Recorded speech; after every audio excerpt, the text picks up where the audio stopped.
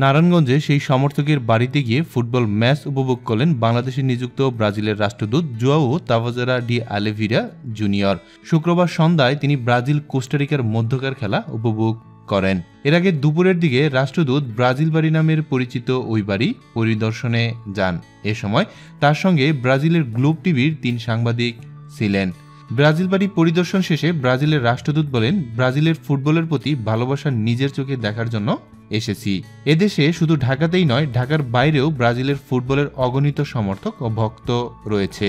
আমি ইউটিউবে ব্রাজিল বাড়ির খবর জেনেছি। বাড়িটি যেন ব্রাজিলের ফুটবলের জীবন্ত জাদুঘর। ব্রাজিল দলের প্রতি ভালোবাসে আমি অভিভূত। শুক্রবার সন্ধ্যায় ব্রাজিল ও কোস্টারিকার মধ্যকার ম্যাচ দেখার জন্য ব্রাজিল বাড়ির সামনে প্যান্ডেল করে Bangladesh Brazil fan club. Brazil দলের সমর্থক আলেয়া ও জাহানারার মতো অনেকেই জানান, গ্রামে ব্রাজিলের রাষ্ট্রদূত আসায় তাদের বিশ্বকাপ উন্মাদনা আরও বেড়ে গেছে।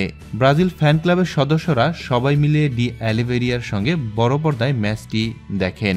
বাড়ির মালিক জয়নাল আবেদিন বলেন, রাষ্ট্রদূতের আসার ব্যাপারটি শুধু তার বাড়িতে নয়, গোটা নারায়ণগঞ্জবাসীর জন্য গর্বের ব্যাপার। নারায়ণগঞ্জ সদর উপজেলার ফতুল্লার লালপুর এলাকার বাসিন্দা জয়নুল আবেদিন ব্রাজিল ফুটবলের অন্ধ ভক্ত প্রিয় দলের প্রতি ভালোবাসার নজির সৃষ্টি করতেই তিনি নিজের ছয়তলা বাড়ি ব্রাজিলের পতাকা রঙে রাঙিয়েছেন। দর্শক, এ নিয়ে আপনার কি মন্তব্য? অবশ্যই নিচে কমেন্টস করে জানাতে ভুলবেন না।